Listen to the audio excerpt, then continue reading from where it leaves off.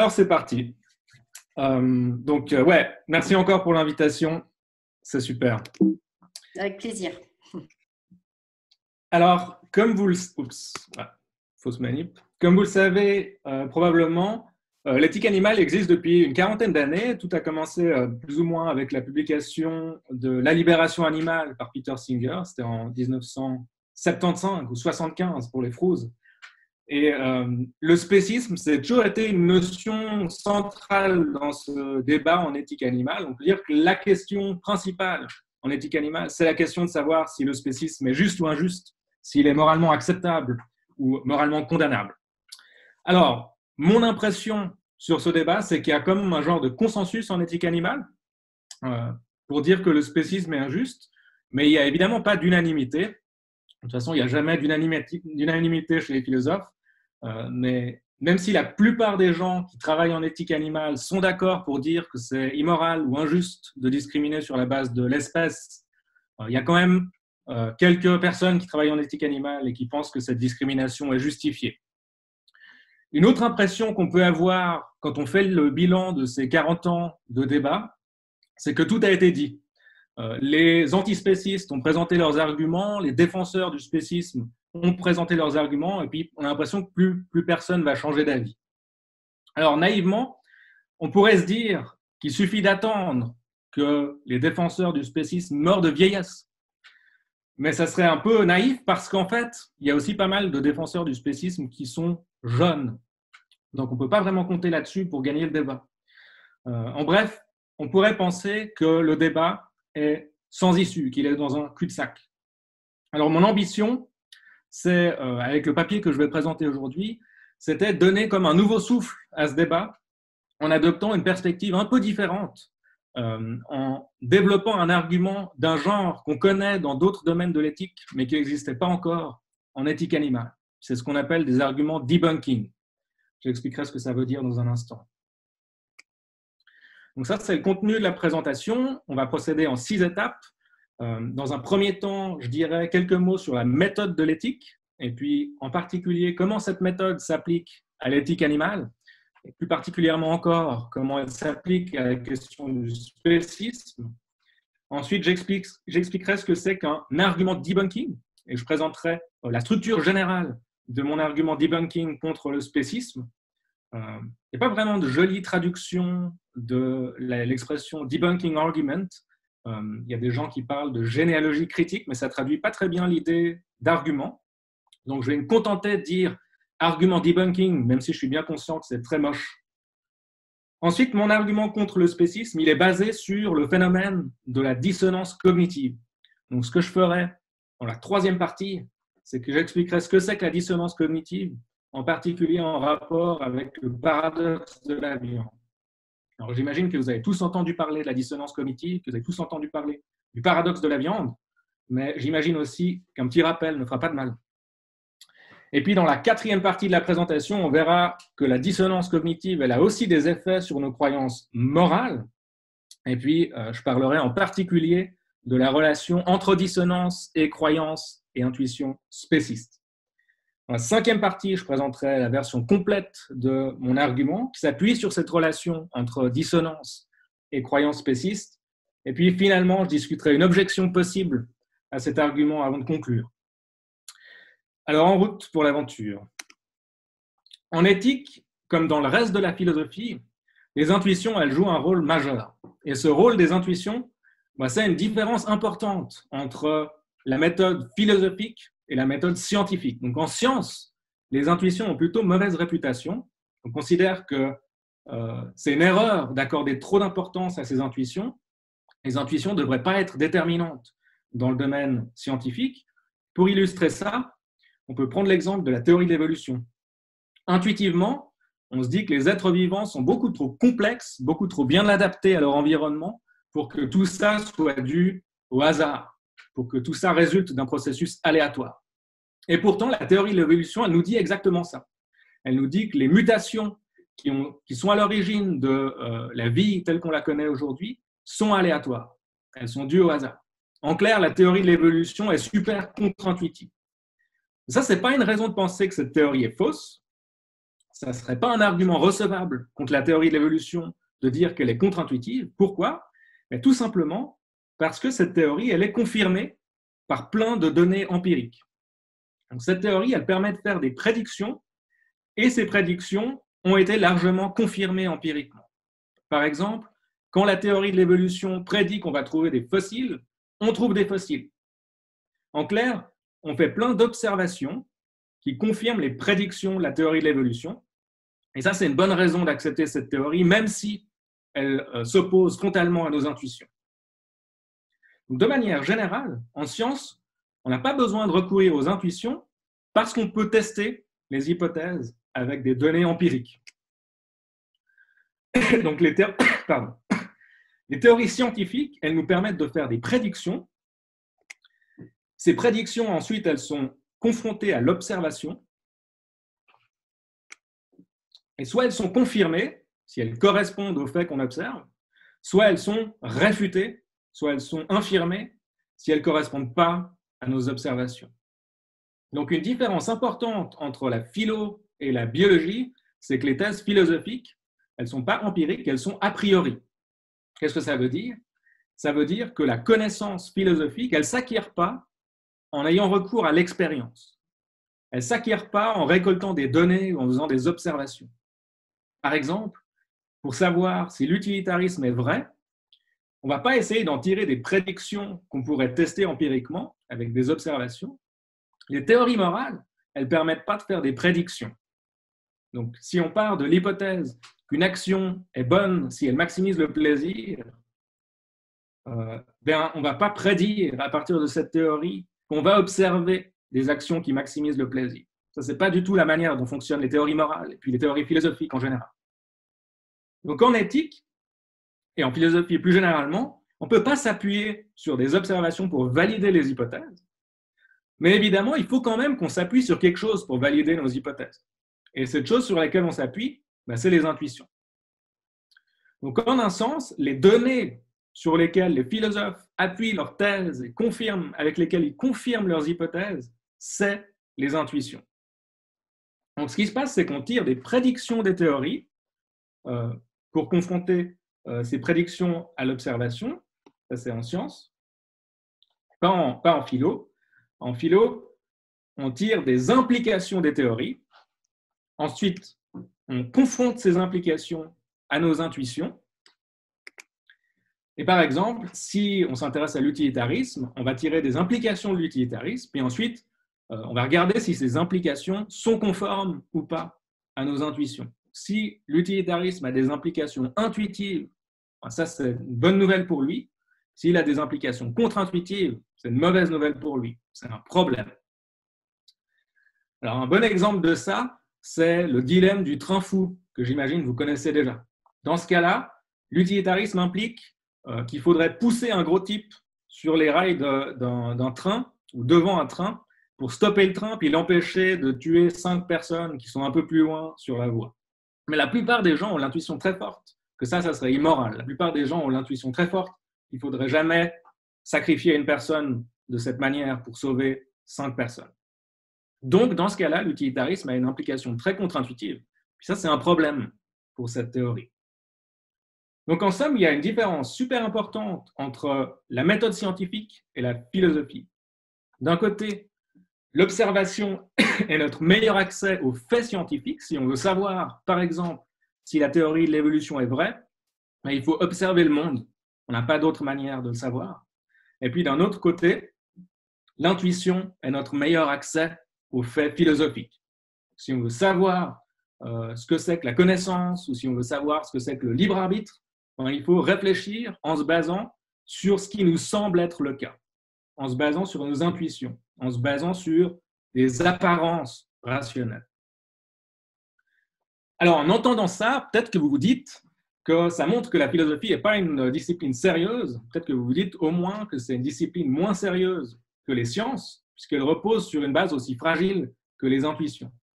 Mais ça serait vraiment une erreur de penser ça, parce qu'à un certain niveau, la science aussi, elle repose sur des intuitions. Prenez l'idée qu'en science, il ne faut pas se baser sur les intuitions. Prenez l'idée qu'en science, il faut se baser sur les observations. Cette idée, elle est au fondement de la science, mais paradoxalement, on ne peut pas la tester empiriquement. L'idée qu'en science, il ne faut pas utiliser les intuitions, elle ne permet pas de faire de prédictions qu'on pourrait ensuite confronter à des observations. Elle ne permet pas de faire des prédictions qu'on pourrait tester empiriquement.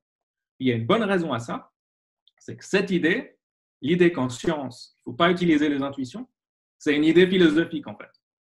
C'est une thèse qui relève de la philosophie des sciences, et comme c'est une thèse philosophique, c'est une thèse qui, en dernière analyse, repose sur l'intuition. Donc ça serait vraiment une erreur de penser que euh, la philo est beaucoup moins sérieuse que la science, parce que c'est aux philosophes des sciences d'évaluer la méthode scientifique ou les principes de la méthode scientifique. Et comme le reste de la philo, la philo des sciences, elle repose sur les intuitions. Donc la science elle-même, en définitive, elle repose sur des intuitions, même si, quand on fait de la science, on n'utilise pas les intuitions, mais on utilise des observations. je ferme cette petite parenthèse hein, qui consistait à défendre ma paroisse. L'intuition, c'est donc notre meilleur accès aux faits philosophiques. Et puis maintenant, euh, les faits moraux, ben, c'est un sous-ensemble des faits philosophiques. Et ça, ça veut dire que l'intuition morale, c'est notre meilleur accès aux faits moraux. Quand on réfléchit à ce qui est juste ou injuste, à ce qui est moralement bon, moralement mauvais, moralement acceptable moralement condamnable, il faut aussi se baser sur ce qui nous semble être le cas. Il faut se baser sur nos intuitions morales, sur ces apparences euh, rationnelles. Et justement, la principale méthode qu'on utilise en éthique, euh, elle repose sur cette idée que les intuitions sont notre meilleur accès à la vérité morale, et c'est la méthode qu'on appelle de l'équilibre réfléchi. Sur le papier, cette méthode, elle est assez facile à appliquer. Premièrement, il faut lister nos croyances intuitives. Ça veut dire faire la liste de nos intuitions sur un sujet qui nous intéresse. Euh, puis, dans ces intuitions, il va y avoir des intuitions sur des cas particuliers, sur des expériences de pensée, et puis il y aura aussi des intuitions sur des principes plus généraux. Donc on fait la liste de toutes ces intuitions. Puis ensuite, on va confronter ces intuitions. Donc c'est à cette étape qu'on remarque que les intuitions qu'on a listées dans la première étape de la méthode, elles sont mutuellement contradictoires, elles sont incohérentes. Et ça, ça arrive la plupart du temps. La plupart du temps, les intuitions qu'on a sur des cas particuliers sont incohérentes avec les principes généraux qu'on a aussi intuitivement envie d'accepter. Ça, c'est la deuxième étape. Et puis la troisième étape, c'est de réviser les intuitions. Il faut réviser ces croyances pour obtenir un ensemble cohérent de jugements moraux. Une fois qu'on a fait ça, on a atteint ce qu'on appelle un équilibre réfléchi.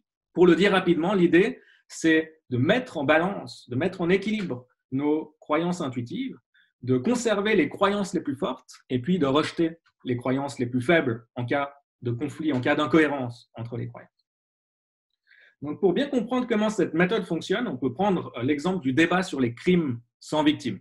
Les crimes sans victime, c'est les, prétendues, euh, les prétendues actions immorales qui font de mal à personne. Donc, dans ce débat, la plupart des gens ont une intuition plutôt libérale. C'est l'intuition qu'une action ne peut pas être immorale si elle nuit à personne. Une action ne peut pas être immorale si elle fait de mal à personne. Si une action est mauvaise, forcément, elle fait du mal à quelqu'un. Et inversement, euh, une action qui fait de mal à personne, elle ne peut pas être immorale. La plupart des gens ont cette intuition qu'on peut appeler la croyance libérale. Un acte est immoral seulement s'il nuit à quelqu'un.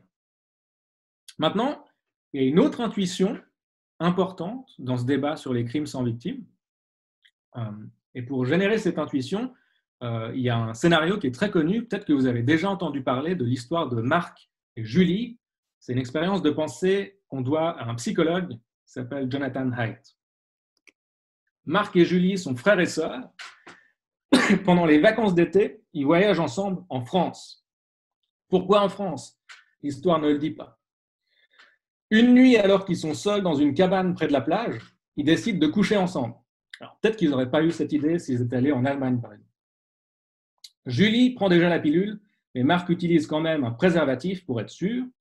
Bien que tous deux apprécient cette expérience, ils décident de ne pas la renouveler. Mais le secret de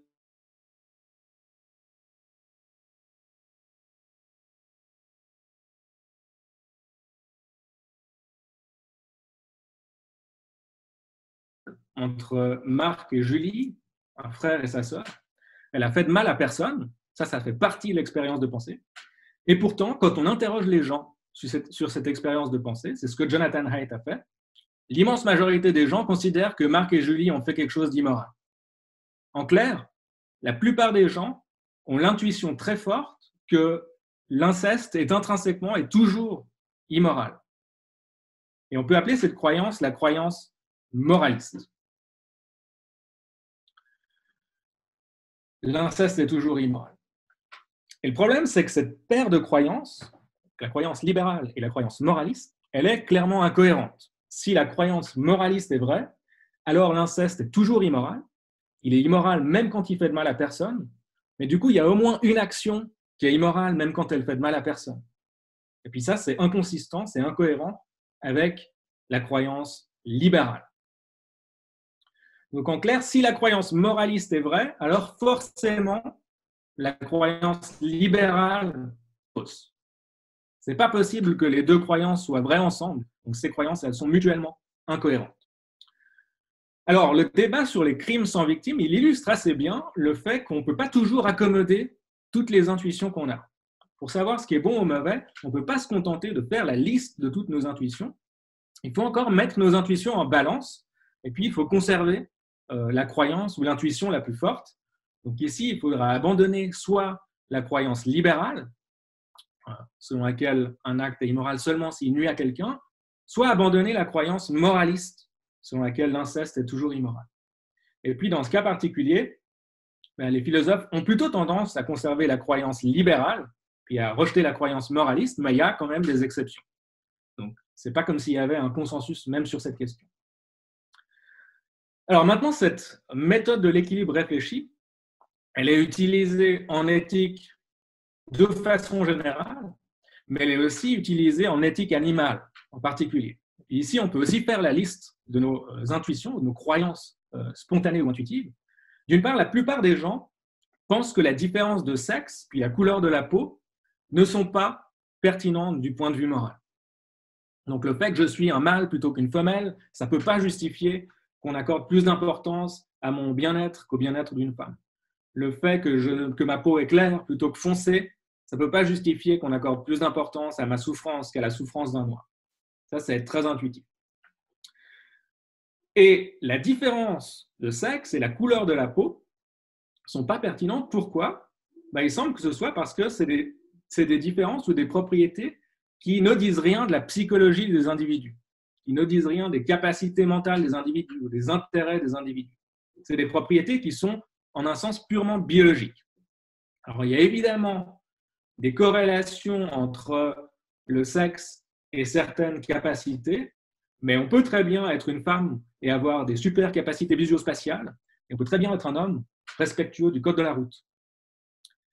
Autrement dit, le sexe et la couleur de la peau, c'est des propriétés qui sont strictement biologiques, qui ne disent rien de la psychologie des individus, qui n'impliquent rien quant à la psychologie des individus. Et intuitivement, les propriétés biologiques ne sont pas moralement pertinentes.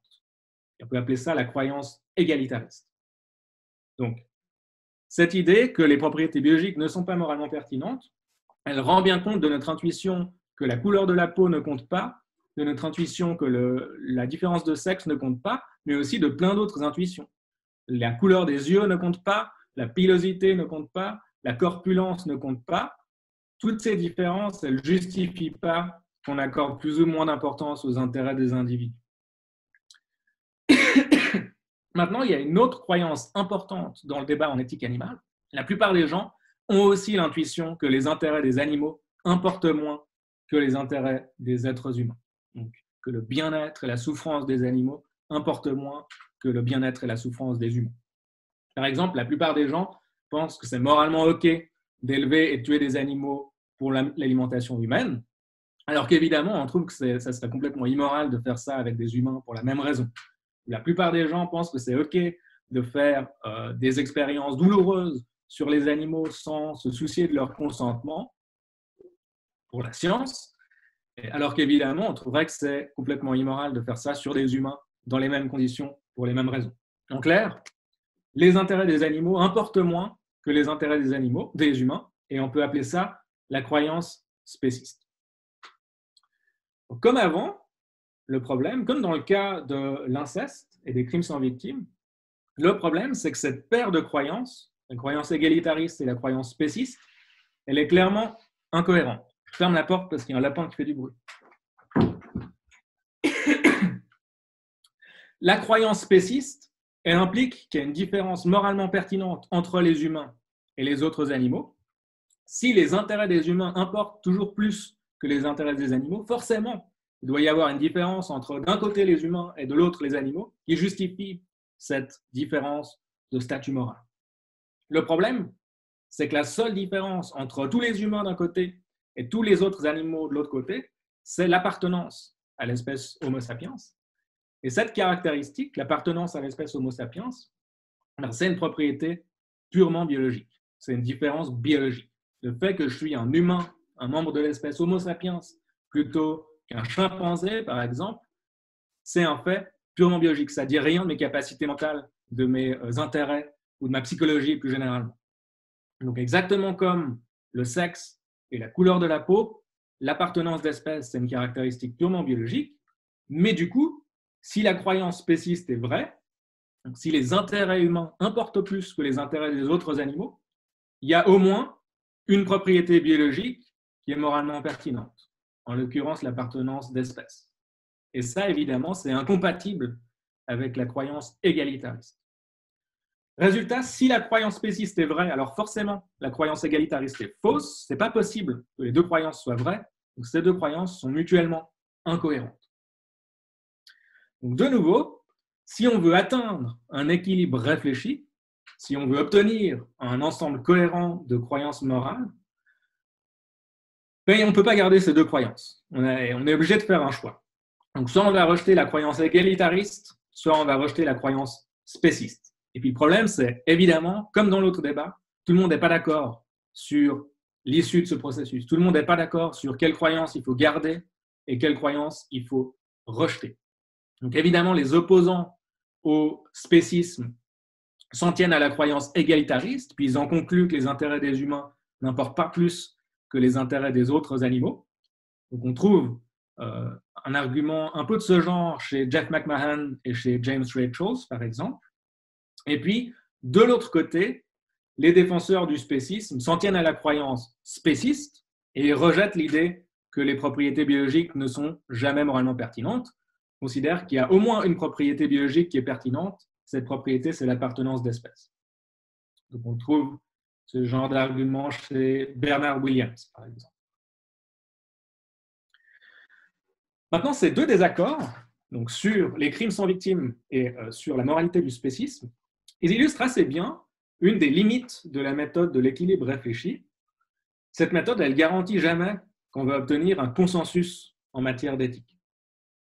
Mais ça, ce n'est pas une raison de renoncer à la méthode, ce n'est pas une raison d'arrêter euh, d'utiliser les intuitions quand on fait de l'éthique, parce que de toute façon, comme on l'a vu, euh, les intuitions morales, c'est vraiment les seules données sur lesquelles on peut s'appuyer pour faire de l'éthique. quand on fait de l'éthique, puis quand on fait de l'éthique animale en particulier, on n'a pas d'autre choix que de prendre nos intuitions au sérieux. On devrait se fier au moins dans une certaine mesure à ce qui nous semble être le cas, à ces apparences rationnelles. Maintenant, ça ne veut pas dire que toutes nos intuitions sont fiables, ça ne veut pas dire que toutes nos croyances intuitives sont justifiées. Il y a évidemment des intuitions qui ne sont pas fiables, il y a évidemment des croyances morales basées sur les intuitions qui sont injustifiées. Ce qui est intéressant, c'est que parfois, on peut savoir qu'une intuition n'est pas fiable, on peut savoir qu'une croyance n'est pas justifiée, sans savoir si cette intuition et cette croyance sont vraies. Et ça, c'est exactement ce que font les arguments debunking. Les arguments debunking, ils servent à montrer qu'une croyance morale particulière n'est pas justifiée, qu'une intuition morale particulière n'est pas fiable. Donc on peut voir comment ça fonctionne avec une expérience de pensée. Pam est addict au jeu. Elle est aussi juge spécialisée dans des affaires de mœurs en France, encore. Dans son tribunal, il y a justement un procès en ce moment. Marc est accusé de coucher avec sa sœur. pourtant, ils avaient dit qu'ils arrêtaient. Pam n'écoute pas les preuves de l'accusation, elle tire à pile ou face. Quand la pièce tombe sur face, son jugement est formé, Marc est coupable. Donc dans cette expérience de pensée, on a trois éléments. D'abord, on a la croyance de Pam. Pam croit que Marc est coupable. Ensuite, on a la cause de cette croyance. Cette croyance, elle est causée par le lancer de, de pièces. Donc c'est parce que la pièce est tombée sur face que Pam croit que Marc est coupable.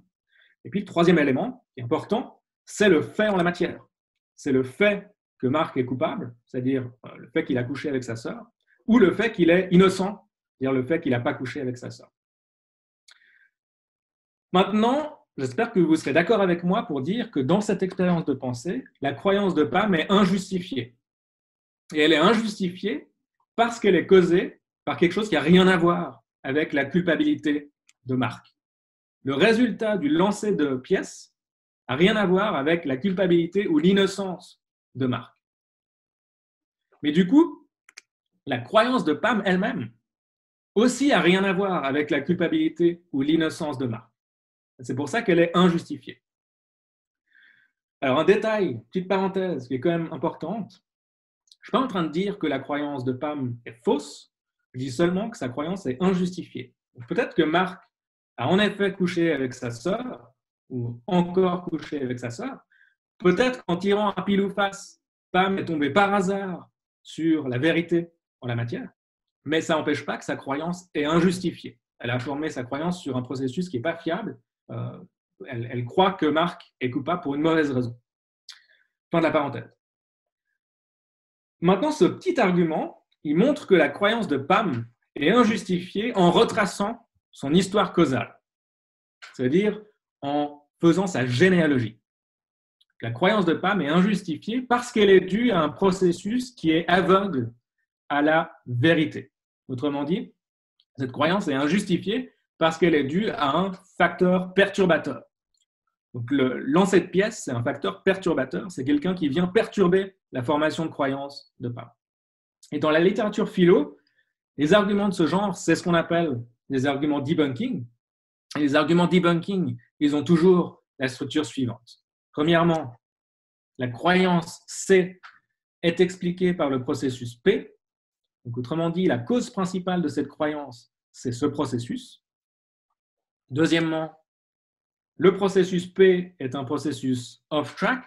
Ça, c'est juste une manière de dire que c'est un processus qui est euh, aveugle ou insensible à la réalité morale. Ce n'est pas un processus qui suit euh, les faits, c'est un processus perturbateur. Conclusion, la croyance C est injustifiée. Alors ici, j'emprunte cette manière de caractériser les arguments debunking au philosophe Guy Kahane, si ça vous intéresse. D'ailleurs, si ça vous intéresse euh, d'avoir des références de tout ce que je dis là, n'hésitez pas à m'écrire. Alors, on peut illustrer ça avec l'expérience de pensée du tribunal qu'on vient de voir. L'argument debunking contre la croyance de Pam respecte super bien ce schéma. Premièrement, la croyance de Pam est expliquée par le résultat du lancer de pièce. Autrement dit, Pam croit que Marc est coupable parce que la pièce est tombée sur face. Donc c'est le fait que la pièce est tombée sur face qui a causé la croyance de Pam. Deuxièmement, le lancer de pièce est un processus off-track. C'est un processus qui n'a aucun rapport avec la culpabilité ou l'innocence de Marc, qui n'a aucun rapport avec les faits. Conclusion, la croyance de Pam est injustifiée. Donc j'espère qu'avec cet exemple, vous voyez bien comment fonctionnent les arguments debunking.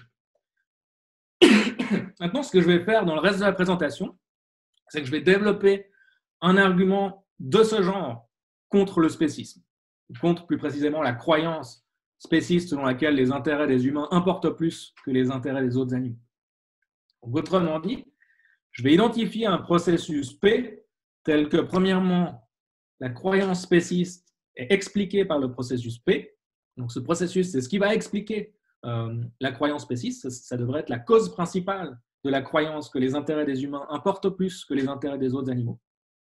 Deuxièmement, le processus P est un processus off-track, donc c'est un processus qui est aveugle à la vérité morale, qui est insensible aux faits. Conclusion, la croyance spéciste est injustifiée. Donc, je répète, l'idée, ce n'est pas de dire que cette croyance est fausse, ou en tout cas pas encore. On pourrait, par hasard, tomber sur des croyances morales vraies euh, avec le processus dont je vais parler. L'idée, c'est simplement que si une croyance est formée à partir de ce processus, alors cette croyance est injustifiée, comme la croyance de pas. Alors, le processus qui m'intéresse, c'est ce qu'on appelle la dissonance cognitive. Donc, ce que je vais faire maintenant, c'est que je vais vous expliquer ce que c'est que la dissonance cognitive et puis, on va voir quelle relation euh, elle entretient avec le spécisme ensuite. Donc, on va faire un petit détour via la psychologie sociale, puis ensuite, on reviendra en terrain philosophique pour voir quelles sont les implications de ces euh, relations entre le spécisme et la dissonance. Alors, la dissonance cognitive, c'est quoi? Ben, C'est un état psychologique qui consiste à avoir des croyances qui sont incohérentes ou incompatibles avec nos comportements des croyances qui sont en tension avec la manière dont on se comporte. Une caractéristique importante de la dissonance cognitive, c'est que c'est un état mental désagréable. C'est une source d'inconfort. Quand on fait de la dissonance cognitive, on est dans un état de stress psychologique. Et cette caractéristique importante de la dissonance, elle a une conséquence importante. C'est que quand vous êtes en état de dissonance cognitive, vous essayez d'échapper à cet état désagréable. Et pour échapper à cet état, vous essayez de rendre vos croyances et votre comportement cohérents. vous devez résoudre en fait le paradoxe qui a généré votre dissonance. Évidemment, il y a deux manières de faire ça. La première manière, c'est de modifier votre comportement pour qu'il devienne cohérent avec vos croyances. Donc, euh, vous adoptez un nouveau comportement qui est conforme à vos croyances. Et puis la deuxième manière, ben, c'est inversement de modifier vos croyances pour qu'elles deviennent cohérentes avec votre comportement. Vous adoptez des nouvelles croyances euh, qui sont confortables étant donné votre comportement. Jusqu'ici, c'est un peu abstrait. Alors, on va, voir, on va voir à quoi ça ressemble avec un exemple? C'est l'exemple des fumeurs.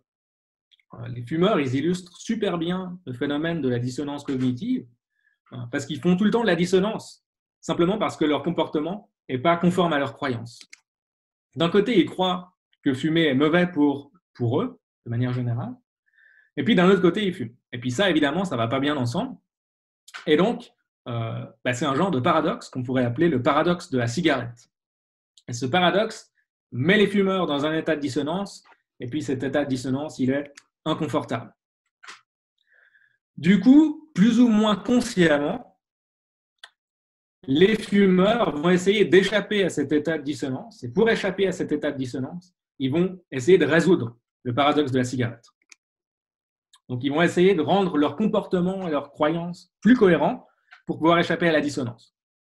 Et les études empiriques montrent très bien ça, montrent que c'est exactement ça qui se passe chez les fumeurs. Donc, certains fumeurs vont modifier leur comportement pour qu'ils deviennent compatibles avec leurs croyances. En clair, ils vont arrêter de fumer, et donc leur nouveau comportement va être compatible avec la croyance que fumer est mauvais pour eux. Ça, c'est évidemment pas la majorité. La majorité des fumeurs vont plutôt modifier leurs croyances pour qu'elles deviennent cohérentes avec leur comportement. ils vont adopter des nouvelles croyances euh, apaisantes qui sont cohérentes avec le fait de fumer. Par exemple, ils vont se mettre à croire que le tabagisme les aide à socialiser. Ils vont se mettre à croire qu'en fait, il n'y a aucune preuve de la nocivité du tabagisme ils vont se mettre à croire que de toute façon, il faut bien mourir de quelque chose et que donc ce n'est pas si grave de mourir d'un cancer du poumon.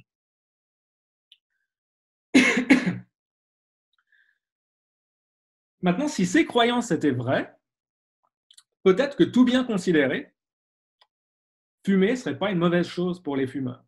Si le tabagisme aide les fumeurs à socialiser, si le tabagisme n'est pas cancérigène, et si de toute façon il faut bien mourir de quelque chose et que ce n'est pas plus grave de mourir d'un cancer des poumons, alors peut-être que tout bien considéré, le tabagisme est une bonne chose pour les fumeurs. Donc en adoptant ces croyances, les fumeurs rendent leurs croyances et leurs comportements compatibles, cohérents, et donc ils résolvent le paradoxe de la cigarette, et en faisant ça, ils échappent à leur dissonance. donc c'est parce que ces nouvelles croyances sont apaisantes, sont psychologiquement confortables, que les fumeurs les adoptent. Alors j'explique tout ça pour que vous compreniez bien comment fonctionne la dissonance, puis le genre d'impact qu'elle a sur les croyances des gens. la dissonance, elle nous fait adopter des croyances qui sont cohérentes avec nos comportements, juste parce que ces croyances sont psychologiquement confortables. Alors maintenant, une source très commune de dissonance cognitive, c'est la consommation de viande. Comme les fumeurs, la plupart des mangeurs de viande font de la dissonance cognitive. Ils ont des croyances qui ne correspondent pas à leur comportement. La plupart des consommateurs de viande, ils croient par exemple que manger de la viande n'est pas nécessaire. C'est difficile de faire autrement quand il y a de plus en plus de végétariens autour de soi. Ils croient que manger de la viande ne nuit pas, euh, nuit aux animaux, pardon. Ça, devient de plus en plus évident quand on voit les vidéos, par exemple, de L214, mais aussi PEA. Et puis, ils croient qu'il est immoral de nuire aux animaux sans nécessité. Alors, à partir de ces trois croyances, c'est vraiment très difficile psychologiquement de ne pas conclure qu'il est immoral de manger de la viande. Et pourtant, les consommateurs de viande mangent de la viande. Évidemment, tout ça, ça ne va pas bien ensemble. Et c'est un genre de paradoxe que les psychologues appellent justement le paradoxe de la viande. Puis on voit bien le parallèle avec le paradoxe de la cigarette. Comme le paradoxe de la cigarette, le paradoxe de la viande met les consommateurs dans un état d'inconfort.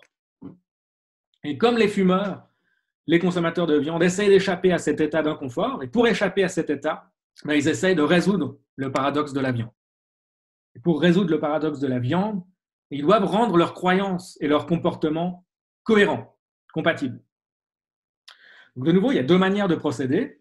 Il y a des consommateurs de viande qui vont modifier leur comportement pour qu'ils deviennent cohérents avec leurs croyances, qui vont arrêter de manger de la viande. Puis en effet, le végétarisme, c'est un comportement qui est bien d'accord avec la croyance que c'est immoral de manger de la viande. Évidemment, ce n'est pas la majorité. La majorité des consommateurs de viande vont plutôt modifier leurs croyances pour qu'elles deviennent cohérentes avec leur comportement. Donc, ils vont adopter des nouvelles croyances apaisantes qui sont compatibles avec la consommation de viande pour apaiser leur dissonance. Et puis ça, ça a été montré dans pas mal d'études. Par exemple, il y a les études de Brock Bastian et ses collègues, il y a des études de Hank Rosgerber, mais il y en a encore d'autres. En particulier, ce que ces études montrent, c'est que les gens qui font face au paradoxe de la viande, ils ont tendance à adopter deux croyances. Ils se mettent à croire que manger de la viande est nécessaire, donc on ne peut pas être en bonne santé si on ne mange pas de viande. Et puis ils se mettent à croire que manger de la viande ne fait pas de mal aux animaux. Ou plus précisément, ils se mettent à croire que les animaux ont des capacités mentales très peu élevées. Dans le jargon, euh, les psychologues ont dit qu'ils démentalisent les animaux. Ils démentalisent les animaux. Pourquoi? Ben, Parce que ça leur permet de penser que les animaux ne souffrent pas tellement de ce qui leur arrive. Alors en général, les études qui montrent ça ont une méthodologie assez simple. Dans un premier temps, on va séparer les participants en deux groupes. On a un groupe contrôle et un groupe expérimental. Et puis ensuite, on génère de la dissonance dans le groupe expérimental, mais pas dans le groupe contrôle. Et une manière de générer de la dissonance, par exemple, c'est d'inciter les participants qui sont dans le groupe expérimental à penser à leur consommation de viande, tout en les incitant à penser à la souffrance qu'engendre cette consommation de viande. Donc en décrivant par exemple les traitements que subissent les animaux. Et puis finalement, on soumet un questionnaire à tous les participants. Par exemple, on va leur demander s'il est nécessaire de manger de la viande, on va leur demander si les animaux sont conscients, ce genre de choses. Puis on leur demande de répondre sur une échelle de 1 à 6, par exemple. Une fois qu'on a collecté les résultats de ce genre d'études, on peut mesurer l'effet de la dissonance cognitive sur les croyances des gens. Dans les études qu'on trouve dans la littérature, il y a des différences importantes entre le groupe expérimental, chez qui on a généré de la dissonance, et le groupe contrôle, chez qui on n'a pas généré de dissonance. Les membres du groupe expérimental, ils croient davantage que manger de la viande est nécessaire ils croient davantage qu'on a besoin de manger de la viande pour être en bonne santé. Et puis, ils attribuent moins de capacité mentale aux animaux. Donc, ils démentalisent plus les animaux. Et c'est assez clair que les consommateurs de viande adoptent ces croyances pour apaiser leur dissonance. Si c'est nécessaire de manger de la viande pour être en bonne santé, alors ça ne peut pas être immoral de manger de la viande. Si c'est nécessaire de manger de la viande, alors le paradoxe disparaît. Même chose pour les capacités mentales des animaux. Si les animaux sont tellement peu évolués mentalement que la consommation de viande euh, ne leur fait pas de mal ou leur fait beaucoup moins de mal, alors la consommation de viande ne peut pas être immorale. Et donc, de nouveau, le paradoxe disparaît. Dans un cas comme dans l'autre, manger de la viande n'est pas immoral, et puis on peut continuer de le faire, la conscience tranquille. C'est pour ça que les consommateurs de viande adoptent ces nouvelles croyances. Alors, c'est quoi le rapport avec le spécisme? Ben, On a vu que le paradoxe de la viande, il était constitué de trois croyances. Manger la viande n'est pas nécessaire, manger la viande nuit aux animaux, et il est immoral de nuire aux animaux sans nécessité. Et ce paradoxe, il se produit seulement si on a ces trois croyances en même temps. Donc, si vous croyez seulement que manger de la viande nuit aux animaux et qu'il est immoral de nuire aux animaux sans nécessité, dans ce cas-là, il n'y a pas de paradoxe. C'est pour ça que les gens peuvent échapper au paradoxe en se débarrassant de la première croyance, en se mettant à croire que manger de la viande est nécessaire. Même chose si vous croyez seulement que manger de la viande n'est pas nécessaire et qu'il est immoral de euh, nuire aux animaux sans nécessité. Dans ce cas-là, il n'y a pas de paradoxe. Euh, et c'est pour ça que les gens peuvent échapper au paradoxe en se débarrassant de la deuxième croyance, en se mettant à croire que manger de la viande ne nuit pas aux animaux. Mais du coup, on peut imaginer une troisième manière de résoudre le paradoxe qui consiste à se débarrasser de la troisième croyance cette fois. En arrêtant de croire qu'il est immoral de nuire aux animaux sans nécessité, on résout le paradoxe de la viande. Et donc, on devrait pouvoir échapper à la dissonance exactement de la même manière. Maintenant, les études dont je vous ai parlé à l'instant, elles nous apprennent que pour échapper à la dissonance, les consommateurs de viande abandonnent les, deux premières croyances, mais ces études, elles ne s'intéressent pas tellement à la troisième croyance.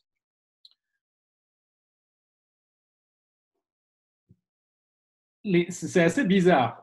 les psychologues se sont un petit peu intéressés à l'impact sur les croyances morales, mais pas précisément sur cette troisième croyance. Et pourtant, on pourrait faire l'hypothèse assez plausible que la dissonance a aussi un effet sur cette troisième croyance. Probablement qu'en situation de dissonance, les consommateurs de viande, ils rejettent aussi cette croyance morale. Et ce qui est intéressant, c'est que cette troisième croyance, donc la croyance que c'est immoral de nuire aux animaux sans nécessité, c'est pratiquement la même chose que la croyance spéciste. L'idée qu'il est immoral de nuire aux animaux sans nécessité, ben, c'est presque la même idée que l'idée que les intérêts des animaux importent moins que les intérêts des humains. Du coup, on peut imaginer que la dissonance cognitive ait aussi un effet sur la croyance spéciste. Alors évidemment, c'est une chose d'imaginer ça, c'est une chose de faire cette hypothèse, et puis c'est une autre chose de tester l'hypothèse. Et ce qu'on veut, c'est s'assurer que l'hypothèse est vraie. On ne veut pas juste émettre l'hypothèse. Du coup, c'est ce que j'ai fait avec mon copain Florian Kova. On a mené trois études euh, de psychologie pour connaître l'effet de la dissonance sur les croyances spécistes. Dans les trois études, on a utilisé une méthodologie très semblable à celle euh, que je viens de présenter, qui existait déjà dans les autres études. D'abord, on a présenté à nos participants un sondage sur leur consommation de viande. Donc, dans le sondage, il y avait des questions sur la fréquence à laquelle ils mangent de la viande ou le type de viande qu'ils préfèrent, ce genre de choses. Et l'idée, c'était d'amener les participants à penser à leur propre consommation de viande. Puis ensuite, on a divisé euh, les participants en deux groupes, un groupe contrôle et un groupe expérimental. Et ensuite, on a généré la dissonance dans le groupe expérimental, mais pas dans le groupe contrôle. Et puis, on s'est pris différemment dans les trois études pour générer la dissonance. Dans la première étude, le groupe contrôle recevait une vignette qui décrivait quelqu'un qui est végétarien pour des raisons de santé. Donc, cette vignette, elle n'était pas censée générer de la dissonance. Et puis, le groupe expérimental, il recevait aussi une vignette qui décrivait un végétarien. Cette fois-ci, c'était un végétarien éthique, quelqu'un qui mange de la viande, qui mange pas de viande pour des raisons morales. Et combiné avec le sondage sur la consommation de viande, c'était censé générer de la dissonance euh, chez les participants du groupe expérimental. Dans la deuxième étude, le groupe contrôle recevait une vignette euh, qui décrivait la façon dont le riz est produit, et puis ça, ce n'était pas censé générer de la dissonance. Et puis, le groupe expérimental recevait une vignette euh, qui décrivait la façon dont la viande est produite, y compris les conditions d'élevage et d'abattage. Et ça, évidemment, c'était censé générer la dissonance en combinaison avec le euh, sondage sur la consommation de viande, ça devait générer la dissonance en rappelant aux participants que leur consommation de viande nuit aux animaux. Finalement, dans la troisième étude, le groupe contrôle recevait une vignette qui contenait un argument euh, diététique, un argument santé pour le végétarisme. Ça, ce n'était pas censé générer de la dissonance. Et puis, le groupe expérimental recevait aussi un argument en faveur du végétarisme, mais cette fois-ci un argument moral. Et puis ça, c'était censé générer de la dissonance chez les euh, membres du groupe expérimental. Donc voilà pour la manière dont on a généré de la dissonance dans le groupe expérimental de chaque étude. Et puis ensuite, il y avait une dernière étape. Il fallait encore euh, faire remplir aux deux groupes une échelle de spécisme. Donc, ils devaient dire dans quelle mesure ils étaient d'accord avec une série d'affirmations spécistes du genre la souffrance des humains importe plus que la souffrance des autres animaux ou quand les intérêts des humains sont en conflit avec les intérêts des autres animaux, il faut systématiquement privilégier les humains. Donc, ils évaluaient ces affirmations sur une échelle de 1 à 6. Et donc, dans les trois études, notre hypothèse, c'était que les sujets en conditions expérimentales, qui étaient censés ressentir de la dissonance, obtiendraient des scores de spécisme plus élevés que les participants qui étaient en, groupe contrôle, qui n'étaient pas, censés ressentir de la dissonance. Donc les membres du groupe expérimental devaient nier l'importance de la souffrance animale pour résoudre le paradoxe et donc pour échapper à la dissonance. Et ça, c'est exactement ce qui s'est passé dans les trois études. Comme on peut le voir sur ces graphiques euh, qui résument les résultats, dans les trois études, le groupe expérimental, qui est en orange sur les graphiques, a obtenu des scores de spécisme plus élevés que le groupe contrôle, qui est en bleu sur les graphiques. Donc les croyances spécistes des gens sont renforcées par la dissonance cognitive. Ça, c'est l'idée. Donc maintenant qu'on a bien mis les mains dans le cambouis empirique, on peut retourner s'installer dans le fauteuil de philosophe et puis on va voir si on peut utiliser ces données expérimentales pour construire un argument contre le spécisme contre la croyance spéciste. Donc souvenez-vous que les arguments debunking ont toujours la forme suivante. La croyance C est expliquée par le processus P, donc C est causé par P. Or, le processus P est un processus off-track, autrement dit, c'est un processus qui est aveugle au fait, qui est insensible à la réalité morale. Donc, la croyance C est injustifiée. Donc maintenant, si on remplace les variables C et P dans l'argument par les éléments pertinents, ben, on obtient l'argument suivant. La croyance spéciste est expliquée par la dissonance cognitive. Autrement dit, la cause principale de cette croyance, c'est la dissonance cognitive. Or, la dissonance cognitive est un processus off-track. Autrement dit, la dissonance, ce n'est pas un processus fiable de formation de croyance. C'est plutôt un facteur perturbateur. Conclusion, la croyance spéciste est injustifiée. Donc, je pense que cet argument est solide. Je pense que c'est un bon argument. La première prémisse, elle est soutenue par les trois études dont je viens de parler. Ces études, elles montrent que la dissonance renforce les croyances spécistes. On peut en conclure que la dissonance explique les croyances spécistes. En fait, c'est un petit peu plus compliqué que ça, mais j'y reviendrai dans un instant. Et puis la deuxième prémisse, elle aussi, elle est très plausible. La dissonance cognitive ça n'a vraiment pas l'air d'être un processus fiable de formation de croyance. Ça n'a vraiment pas l'air d'être un processus qui va nous amener, en règle générale, à former des croyances vraies. C'est plus comme euh, une pilule qui vous ferait croire que euh, l'inceste est toujours immoral. Ou c'est plus comme le, euh, le lancer de pièces qui a permis à Pam de juger que Marc était coupable.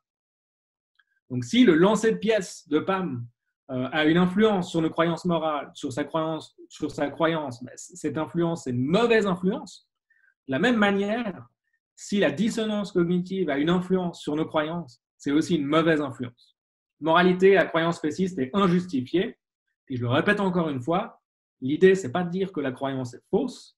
Euh, elle pourrait être vraie par hasard. On pourrait par hasard tomber sur une croyance vraie euh, grâce à la dissonance cognitive. Le point, c'est juste de dire qu'elle est injustifiée. Si vous formez une croyance morale sur la base de votre dissonance, juste parce que cette croyance est psychologiquement confortable, alors cette croyance est injustifiée. Avant de conclure, je vais quand même discuter une objection à cet argument. L'objection, elle s'adresse à la première prémisse de l'argument, donc la prémisse qui dit que la croyance spéciste est expliquée par la dissonance. Comme je viens de l'expliquer, cette, cette prémisse, elle repose essentiellement sur les études euh, dont je vous ai parlé, que j'ai faites avec mon copain Florian Kova. Et ces trois études, elles montrent que la dissonance a un impact sur les croyances spécistes. Plus vous dissonnez, plus vos croyances seront spécistes. Mais maintenant, selon l'objecteur, ces données ne suffisent pas à établir la première prémisse de l'argument. L'objection, c'est que ces données, elles montrent que la croyance spéciste est renforcée par la dissonance, mais elles ne montrent pas que la croyance spéciste est expliquée par la dissonance, ou qu'elle est principalement causée par la dissonance. Et c'est vrai qu'une croyance peut être dans un premier temps causée par un phénomène, et puis ensuite renforcée par un autre phénomène. Et du coup, une croyance pourrait être dans un premier temps causée par un processus fiable de formation de croyance, et ensuite être renforcée par un processus non fiable, par un processus off-track. Donc, par exemple, vous pourriez, dans un premier temps, croire que l'inceste est immoral pour des bonnes raisons, et puis ensuite renforcer cette croyance juste parce qu'un militant anti-inceste a glissé une pilule, qui vous fait croire que l'inceste est immoral dans votre verre. Donc, croire dans un premier temps pour une bonne raison, et puis ensuite renforcer votre croyance pour des mauvaises raisons. Et de la même manière, peut-être que la croyance spéciste est dans un premier temps causée par un processus fiable de formation de croyance, et qu'ensuite elle est simplement renforcée par la dissonance, qui est un processus qui n'est pas fiable. Donc si ça c'est le cas, la croyance spéciste est quand même justifiée. Peut-être qu'elle est fausse, c'est une autre question, mais elle serait quand même justifiée. En fait, on pourrait même penser que c'est précisément ce que montrent les trois études que j'ai faites avec Florian. Les participants qui étaient en condition de manipulation, en condition expérimentale, ceux qui étaient censés ressentir de la dissonance, ils ont donné des réponses plus spécistes que les gens qui étaient dans la condition de contrôle, qui n'étaient pas censés ressentir de la dissonance. Mais les participants en situation de, en situation de contrôle, donc qui n'étaient pas censés ressentir la dissonance, ils ont quand même donné des réponses un petit peu spécistes. Donc, ils ont juste donné des réponses moins spécistes que ceux qui étaient en groupe expérimental. Donc, si on regarde bien, ces résultats ils suggèrent que les gens sont spécistes même quand ils ne ressentent pas de dissonance cognitive. Autrement dit, la dissonance peut pas être peut pas expliquer euh, les croyances spécistes. Elle fait que renforcer ces croyances qui seront comme expliquées par autre chose. Donc on peut penser que les résultats de ces études ils sont en fait incompatibles avec la première prémisse de l'argument que je vous ai donné. Puis ça, évidemment, c'est embêtant. Alors, qu'est-ce qu'il faut faire face à cette objection? J'ai deux réponses euh, à adresser à cette objection. La première réponse est une réponse un peu prudente, qui consiste à concéder que la croyance spéciste est seulement renforcée par la dissonance à mon avis, c'est quand même un résultat intéressant. Euh, si une croyance est renforcée par un processus non fiable, ça ne montre pas que la croyance est injustifiée, mais ça montre quand même qu'elle est moins justifiée que ce à quoi on s'attendait. Donc ça affaiblit la justification de cette croyance. Donc même en admettant que la croyance spéciste est seulement renforcée par la dissonance cognitive, on a au moins des raisons de penser qu'elle est moins justifiée que si elle résultait seulement d'un processus fiable, d'un bon, processus. Autrement dit, si la croyance spéciste est influencée par la dissonance, alors il faut lui accorder moins de crédit dans notre délibération. Il faut lui accorder moins de poids quand on euh, construit notre équilibre réfléchi. Et ça, c'est déjà un résultat intéressant dans ce débat, puisque dans ce débat, il y a des gens qui ont tendance à prendre très au sérieux leur intuition spéciste. Là, ils ont déjà une raison de la prendre beaucoup moins au sérieux puisque probablement qu'elle a été largement influencée par un processus pas fiable. Ça, c'est la première réponse, la réponse prudente, et puis il y a une réponse plus ambitieuse qui consiste à insister sur l'idée que la dissonance est quand même la principale cause de la croyance spéciste. Donc la dissonance ne se contente pas de renforcer la croyance une fois qu'elle est déjà là, c'est vraiment elle qui explique la croyance spéciste. Donc si on veut partir sur ce euh, terrain-là, pour commencer, il faut quand même reconnaître que les participants du groupe contrôle dans les expériences qu'on a faites ont aussi donné des réponses un peu spécistes.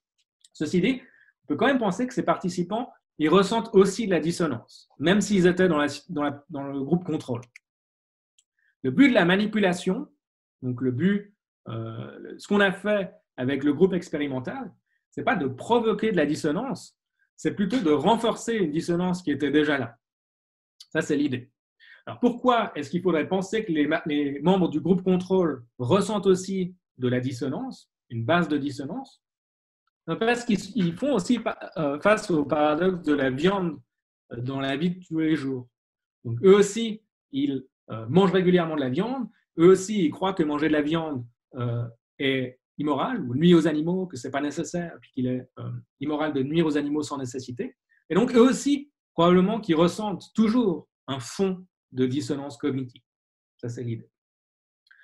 Du coup, puisqu'on sait par ailleurs que la dissonance cognitive, elle a un effet sur les croyances spécistes, qu'elle renforce les croyances spécistes, ben on peut penser que leur dissonance à eux, elle a aussi un impact sur leurs croyances spécistes. Donc on peut penser que c'est pour ça qu'ils donnent quand même des réponses un peu spécistes quand on les interroge. Et puis il y a pas mal d'autres données qui suggèrent que les consommateurs de viande ressentent de la dissonance un peu constamment et pas seulement quand on les manipule pour une expérience de psychologie sociale. Euh, par exemple, les gens démentalisent les animaux dont ils mangent la chair, c'est-à-dire qu'ils attribuent moins de capacité mentale à ces animaux. Donc, par exemple, quelqu'un qui mange de la viande de porc mais qui ne mange pas de viande de cheval, il va attribuer plus de capacité mentale aux chevaux qu'aux cochons. On trouve ça dans une étude de Brock, Bastian et ses collègues. Autre exemple, plus les gens mangent de viande, plus ils démentalisent les animaux. Autrement dit, euh, plus les gens mangent de viande, moins ils vont attribuer de capacité mentale aux animaux en général. Euh, puis on trouve ça notamment dans une étude de euh, Ross Garber. Aussi, plus les gens mangent de viande, plus leurs croyances sont spécistes. Ça, c'est quelque chose qu'on a constaté dans les études qu'on a faites avec Florian. Plus nos participants nous disaient qu'ils mangeaient souvent de la viande, plus ils obtenaient des scores élevés sur notre échelle de spécisme. Et puis enfin, nos participants végétariens, ça c'est aussi dans notre étude, ils n'avaient pas de croyances spécistes. Donc les végétariens, ils obtenaient des scores super faibles, enfin assez faibles sur l'échelle de spécisme. En règle générale, leur réponse, elle correspondait à euh, la réponse plutôt pas d'accord. Donc ils étaient plutôt pas d'accord avec les affirmations spécistes, les gens qui mangeaient pas de viande. Alors, on peut interpréter ces données de la manière suivante. On peut se dire que ces comportements expliquent ces croyances.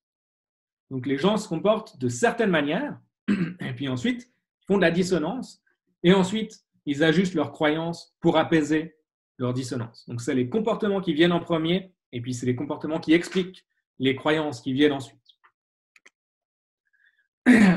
Donc, l'idée, c'est que les gens démentalisent les animaux qui mangent. Pourquoi? Parce qu'ils les mangent. Les gros mangeurs de viande démentalisent plus les animaux que les petits mangeurs de viande. Pourquoi? Parce qu'ils mangent plus de viande. Les gros mangeurs de viande ont davantage de croyances spécistes. Pourquoi? Ben, Parce qu'ils mangent plus de viande. Et puis les végétariens n'ont pas de croyances spécistes parce qu'ils ne dissonnent pas, parce qu'ils ne font pas de dissonance. Alors ça, c'est clairement une interprétation possible de ces données. Donc ce sont les comportements qui expliquent les croyances et pas l'inverse via la dissonance. Le problème, c'est que toutes ces données, elles sont corrélationnelles. Ce pas des données causales. Donc ces données, elles montrent simplement qu'il y a une corrélation entre la consommation de viande et puis ces croyances, mais elles disent rien sur le sens de la causalité. Donc elles ne montrent pas que c'est les croyances qui sont causées par la consommation de viande plutôt que l'inverse. Résultat, on pourrait faire une autre interprétation. On pourrait penser que le sens de la causalité est inverse, on pourrait penser que ce sont les croyances qui expliquent les comportements et non l'inverse. Par exemple, pourquoi est-ce que les gens attribuent moins de capacité mentale aux animaux dont ils mangent la chair? Ben, C'est peut-être euh, peut qu'ils évitent simplement de manger la chair des animaux auxquels ils attribuent beaucoup de capacité mentale. C'est pas absurde. Par exemple, les gens décideraient de manger de la viande de porc, mais pas de la viande de cheval, parce qu'ils attribuent plus de capacité mentale aux chevaux qu'aux cochons. Pourquoi est-ce que les gens qui mangent plus de viande attribuent moins de capacité mentale aux animaux? Ben, Peut-être qu'ils mangent plus de viande parce qu'ils attribuent moins de capacité mentale aux animaux. Peut-être qu'à la base, ils pensent que les animaux sont stupides et que c'est pour ça qu'ils se décident à manger beaucoup de viande. C'est l'idée. Pourquoi est-ce que les gens qui mangent plus de viande sont plus spécistes? Peut-être qu'ils mangent plus de viande parce qu'ils sont plus spécistes. Donc peut-être qu'à la base, ils pensent que les intérêts des animaux n'importent pas, donc que la souffrance et le bien-être des animaux n'importent pas, et puis sur la base de ça, ils décident de manger beaucoup de viande. Et pourquoi est-ce que les végétariens ne sont pas spécistes? Ben, Peut-être qu'ils sont végétariens parce qu'ils ne sont pas spécistes. C'est pas absurde. Donc, si ces explications sont bonnes, peut-être que les consommateurs de viande ne font pas de dissonance cognitive dans la vie de tous les jours, et donc peut-être qu'ils ne font pas de dissonance cognitive dans la condition de contrôle de notre étude. Et donc on ne peut pas dire que la dissonance explique leurs croyances spécistes. Tout ce qu'on peut dire, c'est que quand on les met dans un état de dissonance, la dissonance renforce leurs croyances spécistes. Alors c'est vraiment important de départager ces deux interprétations. Comment on pourrait s'y prendre?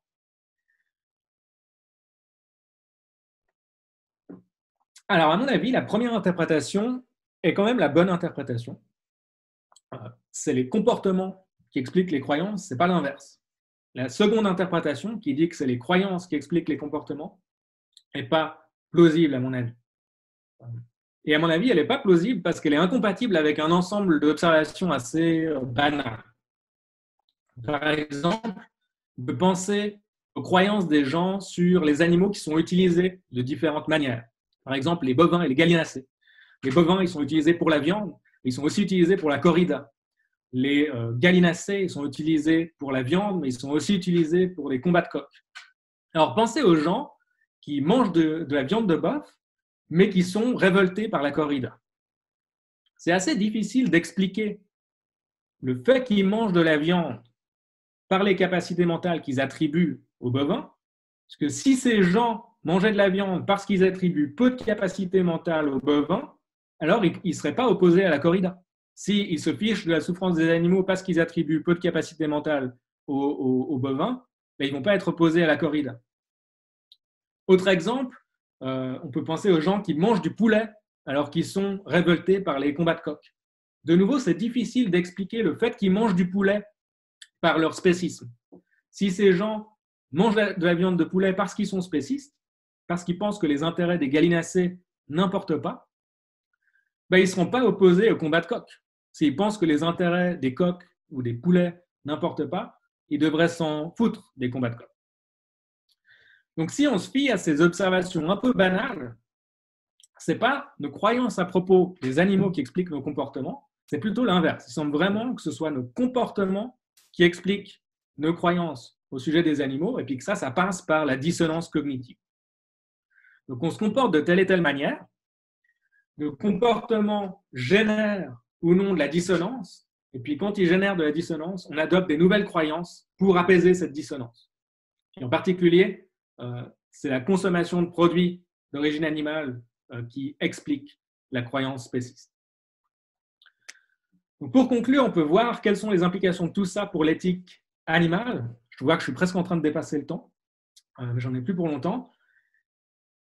Comme je l'ai dit tout à l'heure, quand j'ai présenté cet état des lieux de l'éthique animale, en éthique animale, comme dans le reste de l'éthique, on utilise cette méthode de l'équilibre réfléchi. Donc d'abord, on collecte euh, les euh, croyances intuitives qu'on a, puis ensuite on se rend compte que ces croyances sont mutuellement incohérentes, et ensuite on révise ces croyances pour former un équilibre réfléchi et cohérent. Donc sur le sujet du spécisme, on a deux croyances mutuellement incohérentes. On a la croyance euh, égalitariste, les propriétés biologiques ne sont pas pertinentes moralement, et puis on a la croyance spéciste qui nous dit que les intérêts des humains importent plus que les intérêts des autres animaux. Et puis le problème dans ce débat, c'est qu'il n'y a pas une intuition qui soit clairement plus forte que l'autre, ou plutôt il y a des gens pour qui la croyance ou l'intuition spéciste est plus forte que euh, la croyance égalitariste. Donc l'argument que j'ai présenté, ben, il nous donne quand même des raisons d'être un peu optimiste et de penser que peut-être qu'on n'est pas vraiment dans un cul-de-sac, peut-être que ce n'est pas complètement sans issue, peut-être qu'on peut encore avancer un petit peu dans ce débat. Si une croyance morale est injustifiée, alors probablement qu'il ne faut pas l'intégrer dans notre équilibre réfléchi. Si une croyance morale est injustifiée, il faut l'exclure de cet ensemble de croyances qu'on est en train d'essayer de former, de cet ensemble cohérent de croyances qu'on veut former. Il ne faut simplement pas en tenir compte quand on fait de l'éthique. Puis par conséquent, puisque la croyance spéciste est injustifiée, ben, il faut l'exclure. Et ça, ça nous laisse avec la croyance égalitariste. Et comme cette croyance égalitariste elle implique que les intérêts des animaux importent autant que les intérêts des êtres humains, mais on peut en conclure que c'est injuste de discriminer les animaux sur la base de l'espèce. On peut en conclure que le spécisme est injuste. Donc, de manière très indirecte, on a maintenant un argument contre le spécisme basé sur l'origine causale de cette croyance spéciste. Et ça, je ne sais pas vous, mais moi je trouve que c'est plutôt joli. Donc, si le sujet vous intéresse, euh, ben, je vous renvoie à, la version publiée de ce papier. ça, c'est si vous lisez l'anglais. Et puis, je vous remercie pour votre attention.